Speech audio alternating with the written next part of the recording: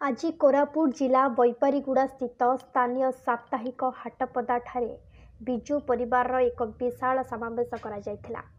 କିନ୍ତୁ ଜିଲ୍ଲା ବିଜେଡି ସଭାପତିଙ୍କ ନିର୍ଦ୍ଦେଶ ନ ଥାଇ ବୈପାରିଗୁଡ଼ା ବ୍ଲକ ବିଜେଡିର ଆବାହକଙ୍କ ଅଗୋଚରରେ ସମାନ୍ତରାଳ ଭାବେ ବୈପାରିଗୁଡ଼ା ବ୍ଲକ ବିଜେଡିକୁ ଦୁର୍ବଳ କରିବା ପାଇଁ କିଛି ବରିଷ୍ଠ କର୍ମୀ ନେତୃତ୍ୱ ନେଇ ଏକ ବିଶାଳ ସମାବେଶ କରିଥିଲେ।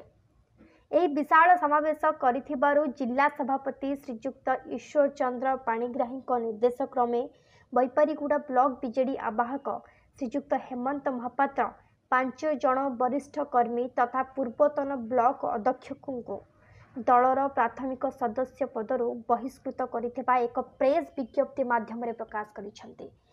ଏହି ପାଞ୍ଚ ଜଣ ବରିଷ୍ଠ କର୍ମୀ ଦଳୀୟ କାର୍ଯ୍ୟକ୍ରମ ବୋଲି ବୈଠକକୁ ଡାକିଥିଲେ। ରାଜ୍ୟସ୍ତରୀୟ ନେତୃବୃନ୍ଦଙ୍କ ଫଟୋଚିତ୍ର ଲଗାଇ ଲୋକଙ୍କୁ ଭୁଆଁ ବୁଲାଇବାକୁ ଚେଷ୍ଟା କରୁଥିଲେ।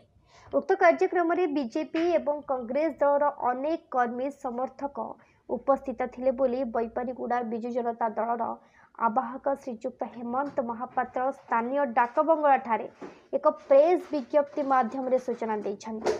ସୂଚନା ଦେବା ସମୟରେ ଦଳର ଶୃଙ୍ଖଳା କମିଟିର ସଦସ୍ୟ ଜଗଦୀଶ ଜେନା ଲମ୍ବୋଦର ଖରା ପଦମ ହନ୍ତାଳ रमेश कुमार स्वाई विश्वजीत नायक, प्रशांत कुमार गुप्ता प्रमुख उपस्थित थे